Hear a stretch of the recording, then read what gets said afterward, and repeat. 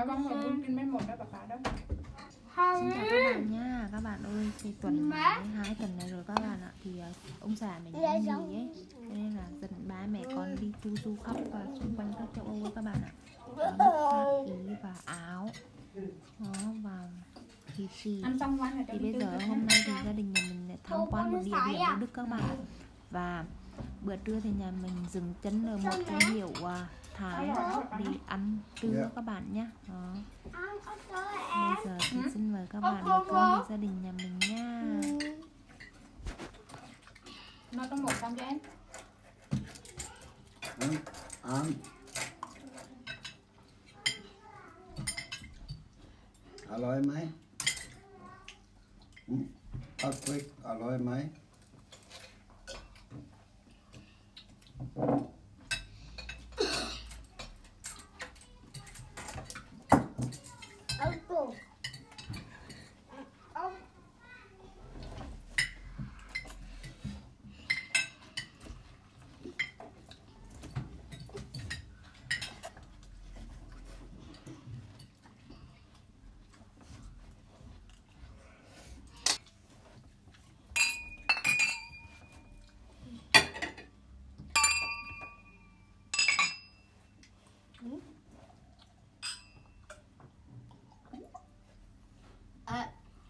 rồi bim bim bùng nam đó rồi ừ. Ừ. Ừ. Nè, alo em ơi. Có bì hả con? Bấm bấm.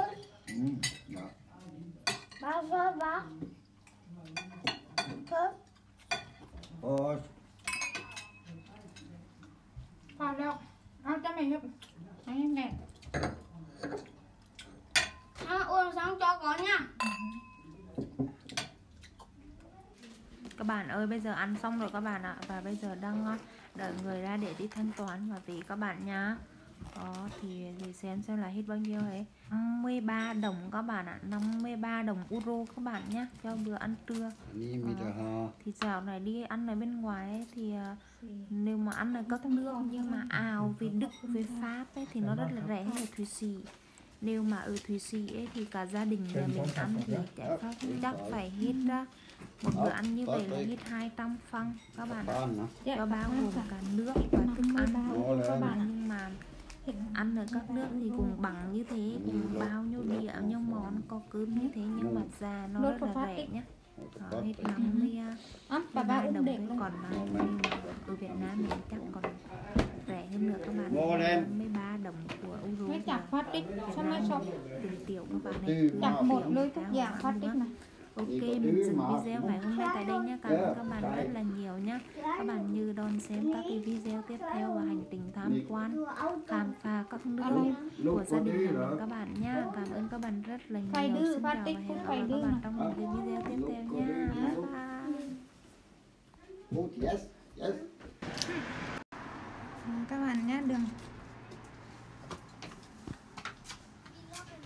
Hả? Ra rồi cẩn thận xe, cẩn thận xe các con ơi. Đây là quán ở Đức này các bạn ở đó. Thầy restaurant Bangkok. Đó. Tất cả. Ơ, là bằng em. Đúng Về thôi. Ăn no rồi bây giờ về thôi. Đây các bạn nha. Đó. Tên là Hiểu Bangkok Thai Restaurant này đó. Ở giáp ranh giới giữa Đức và Thụy Sĩ nhá. Đó hết 3 hết 53 euro các bạn ạ. Đó. Ok. Để mình xem cái dàn một chút nhá. Cà pháo cày, phạt khỉnh. Đây là cây này làm cà pháo nhá là 12,50 à, đồng này là một cây điện này, nè sau là bà piêu hỏa cà chua ngọt đấy cà sốt chua ngọt là 14 đồng 50 này. À sốt khung rái đó. À đây là cơm rang các bạn ạ. Cái đĩa cơm rang là 12 đồng 50 nhá. À, naturai là cái gì ta? À cùng rái tiếp là cơm trắng. Cơm trắng 3 đồng nhá. Nước một chai 3 coca một một cốc 3 đồng. Hình như là bia phải ở bên dưới là bia là bùn đồng các bạn ạ. bia một cốc bùn đồng đó. Này, 53 là tổng cộng là 53 các bạn nhé. Ừ. nếu mà so với giá ở bên Thụy Sĩ á thì cái này đắt à, rẻ gấp một một các bạn này. Đó, Thụy Sĩ đắt hơn một đắt hơn gấp rưỡi là vì á hôm mà nhà mình đi ăn nhà hàng ở Thái Lan ở Thụy Sĩ ấy thì một cái đĩa mà phạt khỉnh như này là nó tương đương là 30 đồng các bạn nhé Đó. 30 đồng một đĩa hay là khao hay gì đồng 30 hết Đó. Và nước cái gì là cũng, đắt hơn ở Thụy Sĩ nó đắt hơn rất là nhiều các bạn nhé thường thường mà buồn người gia đình nhà mình mà đi ăn này bao gồm cả bia cả nước khi nào hết 170 đến 180 đó các bạn ạ có khi đến là 200 đồng luôn 200 đồng Thụy Sĩ luôn. Nhưng mà ở Đức thì nó rẻ hơn rất nhiều đúng không? Còn à, đó, một bữa trưa của gia đình nhà mình rất là đơn giản hôm nay thế này.